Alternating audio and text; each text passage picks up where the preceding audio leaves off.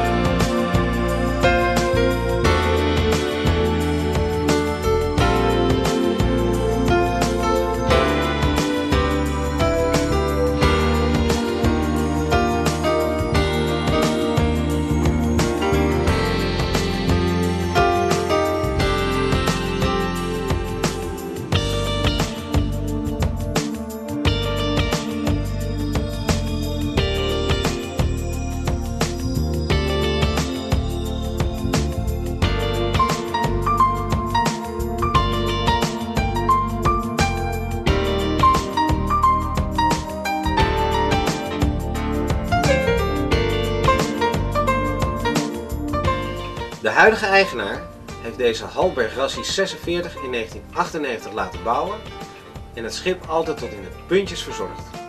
Het schip is voorzien van een ruime inventaris en veel spare parts. Ook wordt het schip geleverd met een nieuw lopend wand en een nieuwe set met zeilen.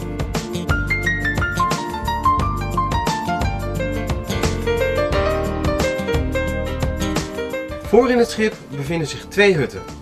Voorin een tweepersoonshut en aan bakboordzijde twee kooien boven elkaar. Daarbij is er ook een toilet en douche gesitueerd.